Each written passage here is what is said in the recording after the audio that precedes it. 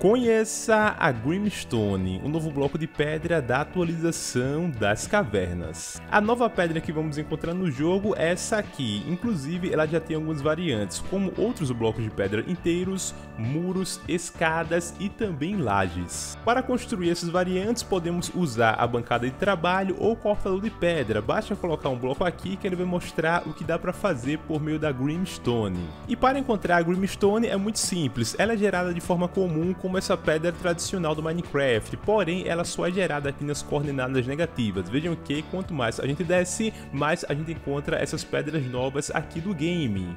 E aí, curtiu a informação? Então conheça o nosso canal principal aqui no YouTube, o link está na descrição.